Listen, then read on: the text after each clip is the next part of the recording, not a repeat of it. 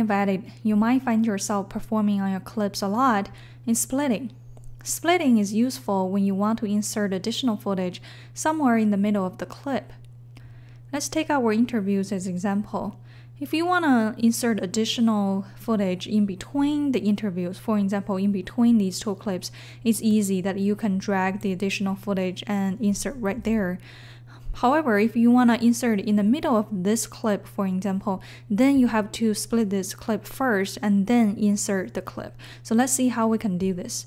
Let's first zoom in a little bit. And now let's listen to the clip and find where we want to split the clip. I am extremely nervous about this dive.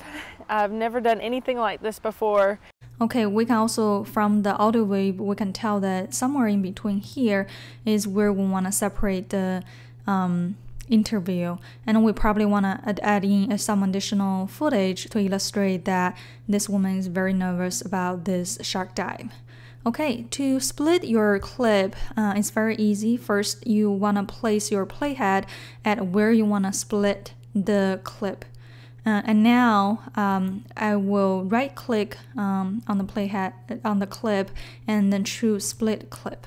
So now you see the clip has been split in half and now I can drag whatever footage in between very easily.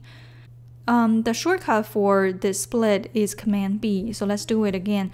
I place my playhead at the position where I want to split it and then click on um, Command B and now it has been splitted. So that's how you split a clip. You can actually achieve similar effects if you use Insert Edit. To do Insert Edit, it's a similar process. You need to first place your playhead um, at the location where you want to split the clip, and then you find the clip um, that you want to insert in between. For example, if this one, then I will make a selection. And then finally, you go to Edit and select Insert.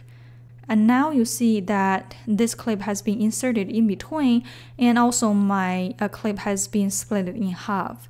Um, another way to perform this insert edit is by um, first of all placing your playhead here and then drag it uh, drag the additional footage and put it on top of the clip and then let go and then it, it will give you several um, choices. You can either replace this current clip with additional footage, or you can choose insert. So I will choose insert.